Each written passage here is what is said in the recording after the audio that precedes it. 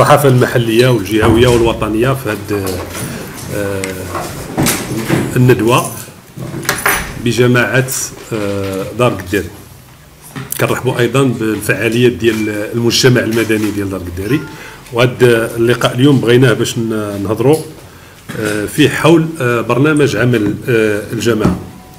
وكيف ما كتعرفوا أن الجماعة ديال دار قداري اللي ولات جماعة حضريه في 1992 آه، ولم تحظى بالاهتمام المطلوب خلال التعاقب ديال المجالس عليها باش آه، ترقى آه، في البناء المعماري ديالها ولا في البنية الاقتصادية ولا في البنية الاجتماعية أو الرياضية أو الثقافية. آه، المجلس ملي تسلم آه، المهام بعد 8 انتخابات 8 شتنبر ب آه، أغلبية أعضائه انكب على إعداد وثيقة ديال برنامج العمل التنموي. ولكن قمنا بواحد التشريح ل يعني أخطر أو أصعب النقط السوداء اللي كتعرفها المدينة. وركبناها في واحد العرض في شريط وثائقي. غادي نلقيو أمام أنظار السادة آه، آه، آه، رؤساء الجمعيات ديال المجتمع المدني اللي حاضرين معنا.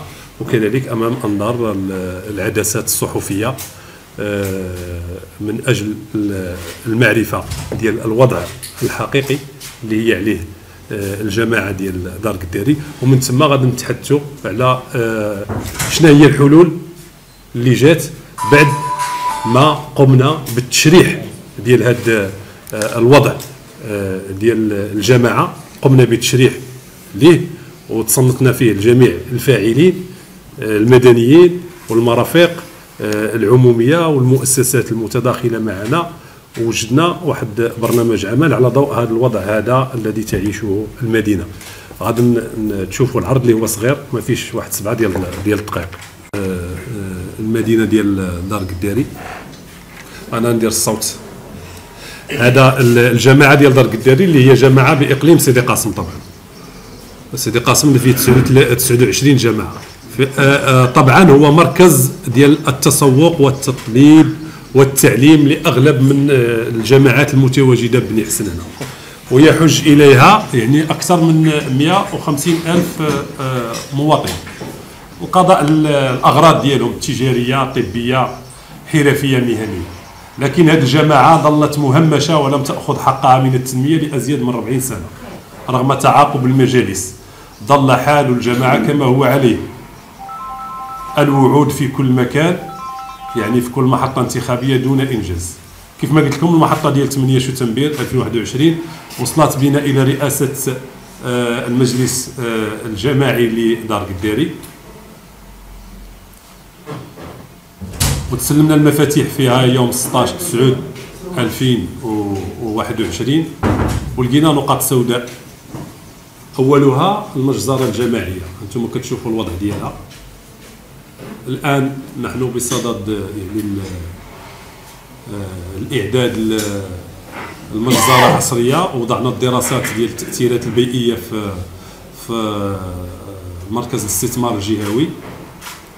كنوجدوا لا شراكة مع وزارة الفلاحة والداخلية من أجل الانجاز ديالها هذا المكان ديال الباعه الجائلين. أنتم كتشوفوا اللي كدير واحد النقطة السوداء على الطريق 411 درنا الآن واحد الفضاء سميناه سوق الصالحين.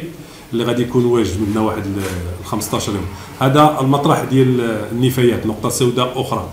نحن الآن آه، وجدنا واحد آه، العدد ديال الآليات من أجل أننا غادي ننظموا هذا المطرح هذا وفق المواصفات الحديثة ديال تجميع النفايات. آه ونتجاوزوا هذا الوضع البيئي اللي آه لا يشرف طبعا الساكنة. هذه هي الحقيقة. هذا هو الوضع البيئي اللي هذه منطقة تنسميوها الساحل وهي لا تكون إن شاء الله منطقة صناعية. حنا كنوجدوا الشراكة وضعنا الدراسة ديال التأثيرات البيئية للمركز الاستثمار الجهوي حول إحداث المنطقة الصناعية هنا على مساحة 20 هكتار. وغادا تواجه مجموعة من المشاكل من بينها آه، آه، المشكل ديال البطالة. غيولي عندنا فرص شغل من خلال هذه الوحدات الصناعية اللي غادا تخلق في هذه المنطقة الاستراتيجية اللي المساحه ديالها 20 هكتار وهي تابعة للجماعة السلاليه الجداده الأرض. هذا من الأحياء آه، السوداء. طبعا عندنا الحي ديال البطاطا بن قمر كيف ما كتشوفوا الوضع.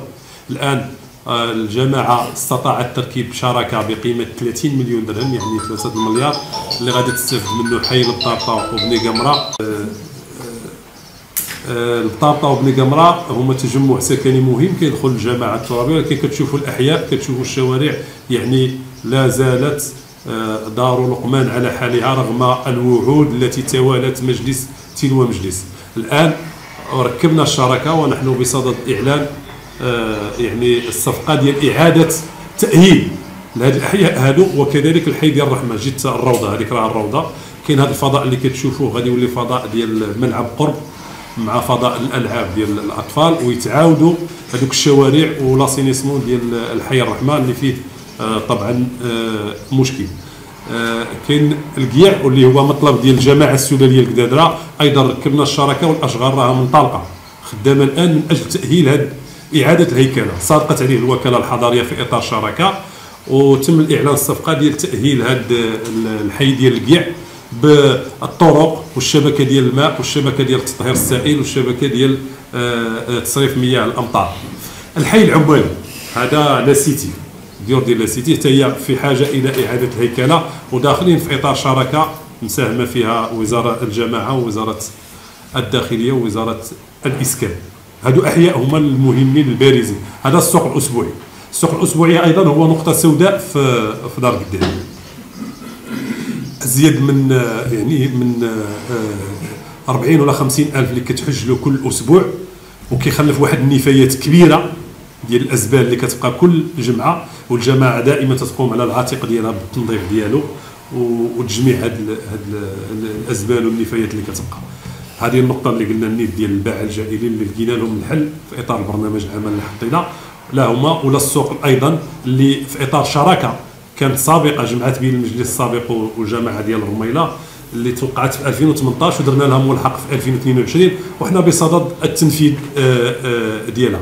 مركز تجاري والمحلات التجاريه اللي كتشوفوهم كيتبناو هنا وهي مشاريع حقيقية طبعا كتنجز من أجل أننا نوفروا العرض ديال الخدمة التجارية ونوفروا العد آه، التنشيط الدورة الاقتصادية بالجماعه ديال دار الداري بعد ما غادي يتحول السوق هذا المركز التجاري وهذه المحلات التجارية وهذا المنطقة آه، الصناعية اللي غادا تخلق واحد فرص تجارية وفرص شغل اللي غادا تخلينا هنا كتشوفوا فضاء اللي ما كانش عندنا ديال الترفيه ديال الطفولة.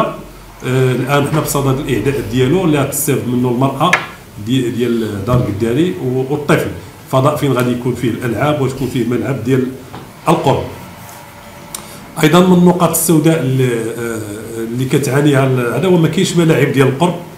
آه، الإشارة الآن الجماعه بصدد إعداد ثمانية ديال الملاعب القرب اللي جاوا في إطار شراكة ما بين الإسكان والداخلية والجامعة الوطنية لكرة القدم بما فيها الملعب الكبير اللي غادي يكون جيت آه، جيت القيع طبعا هذاك الملعب الآن حنا حددنا له القيمة ديالو عن طريق لجنة التقييم اللي غادا تقتنيه الجامعة ب 164 مليون باش غادا تعطي المحضر اقتناء الجامعة الوطنية الملكية لكرة القدم من أجل بناء ملعب كبير بالمواصفات الحديثة.